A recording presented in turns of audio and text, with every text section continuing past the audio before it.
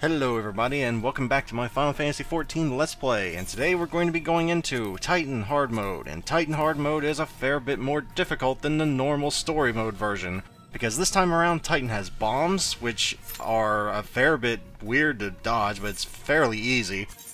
Uh, he has a smaller arena to work with, he has I think five way the lands toward the end of the fight as opposed to the three in normal mode. So overall, there's a lot more damage going out that if you don't know how to dodge it as a DPS, you're probably going to die. Because that's how you're going to die unless your healer just plain does not heal, in which case I feel sorry for you, but that's not really the fault of anybody but the one person's. But the point here is, it's a dangerous fight, even if you are in item level 97 gear, which is what I'm at, which isn't real great, but it's not terrible. I mean, I think the the minimum for this fight is what 70 maybe 59, I don't know. It's a fair, it's a lot better than what the minimum, okay? That's that's the point I'm trying to make here. So at the beginning of the fight, we do some regular strategy things, because the guy says he's new, he doesn't know what he's doing, and I'm thankful he even asked that, first off, and these people were nice enough to answer, but... Uh, I think the, the strategy they give is don't get hit by the bombs, don't get hit by the... Basically, just don't get hit by anything, which was real helpful, but... I don't think it was meant as sarcasm, but the point here is... Yes. Now, the bombs, I'm going to start now, before we get into the actual fight. How you dodge the bombs. There will be two or three row, I think two rows of bombs in a circle pattern around the thing. The one that lands first is going to explode first. The one that lands last is the one that's going to explode last. So you want to go to the one that appeared last, and then when the first one explodes, the yeah, the first one explodes, then you go back to the first one, and then the second one explodes. This is a lot more difficult to dodge as a melee, because you don't want to get away from the boss. But it's possible. I screwed it up once, I remember, but it's possible to do it. And that's where learning the fight is valuable as a melee DPS, because if you don't learn the fight, things are going to get very, very bad. So besides my very terrible uh, well, at least I remember to use perfect balance this time, that's something, isn't it? But beyond my terrible rotation starting off, it's pretty standard. Titan's not really doing whole much anything different at this point. It's really, I think things start going sideways around the second phase, maybe third phase. I think second phase is when it goes different. Another big difference is the, like I said, the arena is a lot smaller because he does this three times, not just twice. He does it three times this time. So as a monk, Get that Fist of Earth rolling and don't get caught in Weight of the Land. That's three Weight of the Land already. It's only the beginning of the fight, which is, I think, the maximum in the normal mode, so... If you guys stack up like you should, if you don't dodge it, you're gonna die. So, yes, nothing really too out of the ordinary quite yet. The bombs are the part where you gotta start worrying, because if you eat more than one bomb, you're probably going to die. I think they do like 2,000 damage. They do a fair bit more damage, so Yes, I, I, don't really know what else to say here besides stop targeting me so I can actually hit my positionals, please.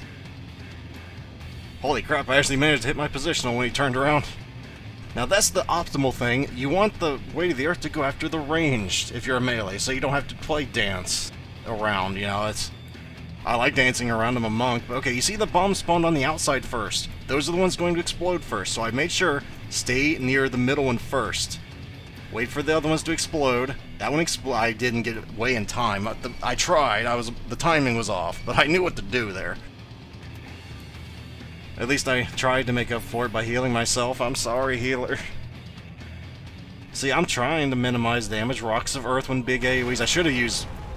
I should have used Mantra there, but I think the other monk covered my butt there during one of these jumps. And, uh... Yeah, but at least I'm using mantra again. That's not something I should have to say every time, but I, I, I am.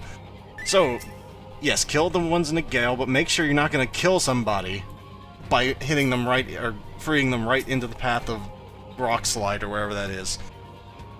But make sure you do free them because, you know, playing one man down or one woman down is just not productive to a quick run. But make sure you kill the heart. If you don't kill the heart, it's an instant death, so focus everything you got on that as a DPS, as anything, really. And this is the last phase, I believe.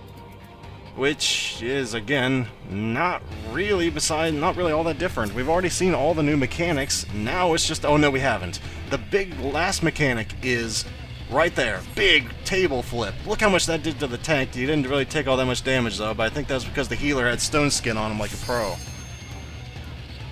But yes, that is a tank buster. So if you're a tank, save your cooldowns for whenever that's coming up, and God help you, because I could not remember when that's coming in the rotation. I would not be a very good tank in this. I need to look up the rotation of Titan. At this point, I'm just trying to go, I don't know where to dodge. I got it. I dodged stupidly in the right direction there, because I wasn't really paying attention. Not a good habit. Not a good habit. But hell, I'm uh, yellow in threat, so that must mean I'm doing decent damage. Because I don't have no threat. I don't have any threat reduction. Okay, so Titan's at 35%. Let's make sure, hopefully, we don't kill the guy in the Gale here, which I think I darn near did. He got out in time. Oh, that was close. Oh, I was way too close for comfort. I almost killed somebody.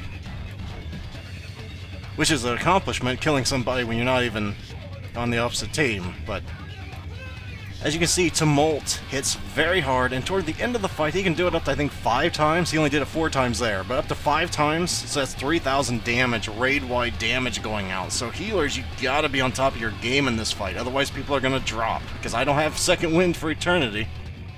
Okay, so the middle one dropped last. Yeah, that one dropped last. So, that one exploded, go toward the other free areas. I ate, I ate one, because I was trying to stay close enough to the boss. I got greedy. I also got greedy here, right in the middle of five of them. Boom goes dynamite. I was so embarrassed. I'm like, oh god, I was trying to be the I was trying to be the hero, man. I was trying to end it. But in Titan, if that happens as a melee right at the very end, it's not a huge deal. Obviously, it's not ideal either, but it's not a huge deal because he's nearly dead. But in Titan, there's a lot of instant, oh crap, he's targeting me moments. He has landslide, he has weight of the earth. I mean, it's as long as it, as long as it doesn't happen every time, it's okay. but you know, as I learn the fight more and I realize when's a safe time to limit break, that's not going to happen. But for first-time jitters, I also got the monk weapon. I greeted on. I, I didn't even need the thing. I greeted and I won with like a 90-something roll. So yeah. Anyway, guys, that's going to be it for today. I doubt next time we're going to be going to Odin, but I'll be going somewhere. I'd have no idea where. But thank you guys very much for watching. Hopefully this kept somebody from dying in Titan Hard mode to the bombs, or to whatever, and hopefully I shall see you next time. Farewell, everyone, until next time.